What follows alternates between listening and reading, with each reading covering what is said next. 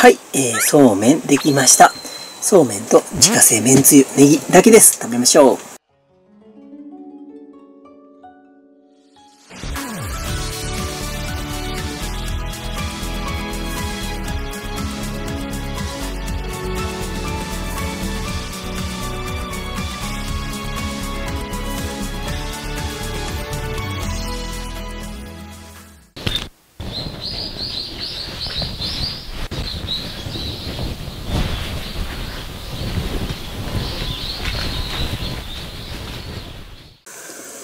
ただきます。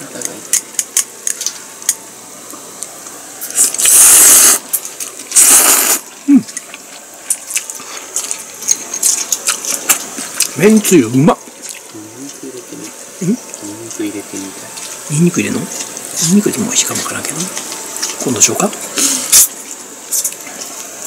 夏はそうめん？が美味しいね。あっちゃん？そうめん？このもの大嫌いやってん？けど。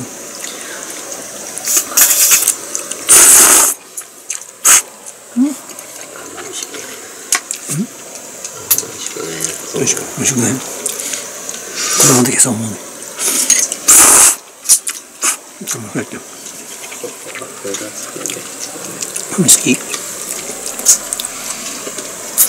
美味しいね。体ががっつりしたら結構好きね。美味しい。だからニンニクとか入れてほしいけど。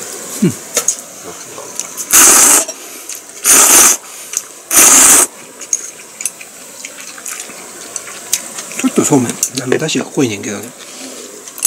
麺の水っ気で薄まるから、よ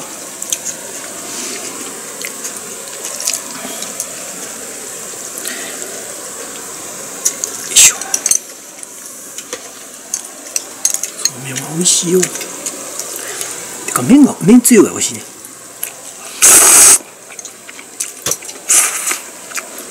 こんな自家製で作るべきやわ、麺つゆは。昆布的なですね。せやろ。いろんな出汁入ってるやつ使ってね。塩昆布調的なですね。簡単で。あの酒とみりんと醤油にだしのあのパック入れて5分ほど煮るだけ。であと氷で薄めんねうん最後調整水で薄めたら完璧。市販の体に悪いだしなんか使われへん。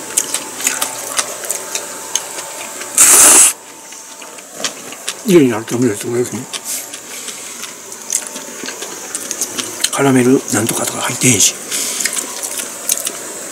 あれが一番やばい。う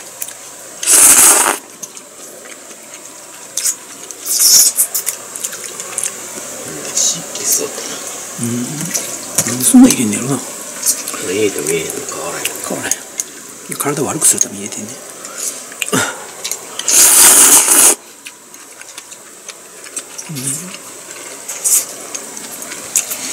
自然やろ？だし。やっぱ作っただしは。ナチュラルで美味しい。不自然な味せんやろ？わからんってこと？変わらん。店行くと変わらへん。店の方が美味しいよ。いっぱいなんとかアミノ酸なんとか入ってる。もん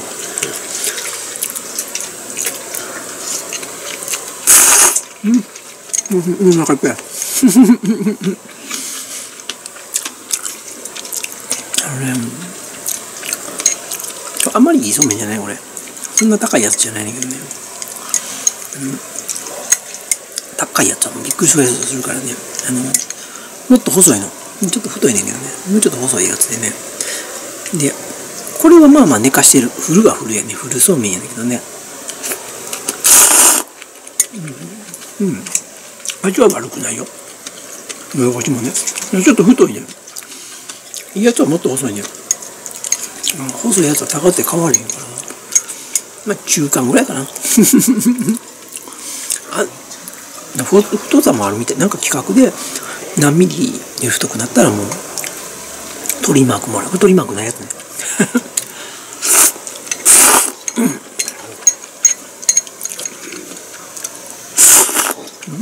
れねいやもうお腹いっぱい終わっちゃう。もう一口ぐらい食べてもいいかなぐらいが。あっちでもいいやみたいな。飽きる。な確かに。なあ飽きるもんだって。そういう必要ないな確かにだしは飽きるけどさ。そこに薬味入れんねや。うんこれやブラックペッパーや。多分塩で食べても美味しいと思うね。ブラックサンダーだブラックなんだもう体に悪いうまいけど。ということでねあの今日はさらっとそうめんを食べました。うん。まあ飽きてきたって言うと七味入れてもいいじゃん、うん、ブラックペッパー入れてもいいし塩ちょっとパラッと入れてもいいし。体に悪いものはそんなにうちには置いてないはず。アミノ酸的なんとかとか置いてんから、うんまああの素朴なね、うん、昔ながらそうめんっていうのはほんまにね昔々からある郷土食やね。でそれの出汁っていうのもやっぱり昔々昆布やら鰹節やらで取って醤油とみりんと酒とで出汁作ってたはずやね。だからそれに戻るっていうのがすごい大事だと思うんでね。なっちゃんはこういう素朴な出汁が好きかな、飽きるって言われたらそうやねん。飽きんねんやっぱり。だってめんつゆとそうめんの味しかせえへんもんね。それだけでお腹いっぱいする。もちろんこれに卵とかいろんなトッピングしてもいいけどほんほんまのざるそうめんってこんなもんなんよ。そうややっそば美味しいよなやっぱり。ヒカが？ヒカだけそうめんしたのか？そば湯で？あ 別湯で一緒の麺の具材も。ねえ。まあ麺つゆは一緒やからね作るのね、うん、そんなこんなでね。今日のあっちゃんちの食べへんの？入れたの？伸びんで特にそうめんは。ということで今日のあっちゃんちのお昼はそうめんでした。ネギまだあんではい。ネギ食べてねいっぱい。そんないっぱい七味。七味いっぱい入れてもうこの子はかはね。お茶に七味茶はネギ入れとるしも。あのね。辛いわそれは。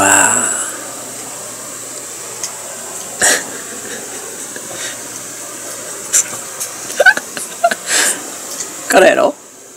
うまい？美味しいらしいわ七味いっぱいかけて、うん。まあそんな感じでね。あのー味変しながら。まだ出汁あるで。おる時で上だとかがね。ということでね今日のあっちゃんちの昼ご飯はそうめんでした。えー、っとこれね奈良ね三輪そうめんが結構奈良ではねメジャーで。夏になるとねお歳暮お歳暮茶はお中元でもらえるのよ。だもう家の中そうめんだらけになってほぼほぼ夏休みになると毎日そうめん。それであちゃん来ちゃったんやけどね。お母ちゃんそうめんって絶対にあのー山木のめんつゆかなんかでいつも作るから毎日同じもん食べてないのよ。だから飽きてきて嫌いやってんけどだか大人になってねそうめん食べられるようになったちまだ喉越しで食べるのが好きでね。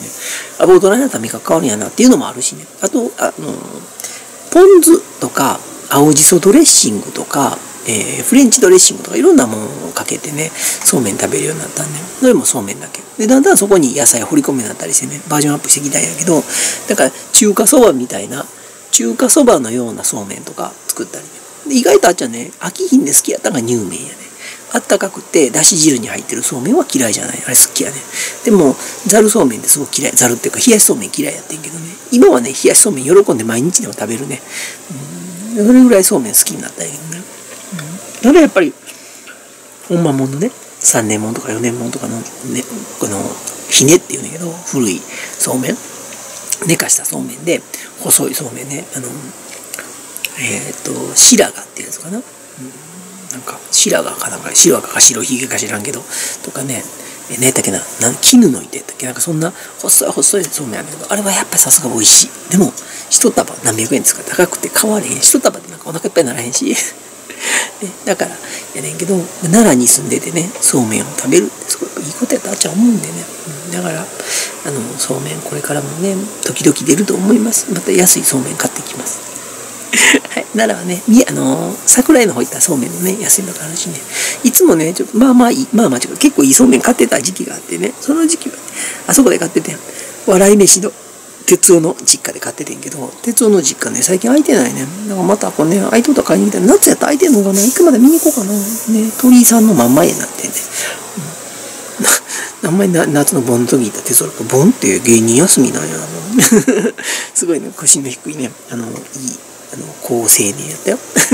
ということでね、あの、また、岩そう、三輪そうめんが出てくる日が時々あると思います。はい。ということで、今日のあっちゃんのお昼ご飯、そうめんでした。ごちそうさま、美味しかったです。ということで、今日はこの辺で終わりにしたいと思います。またね、バイバイ。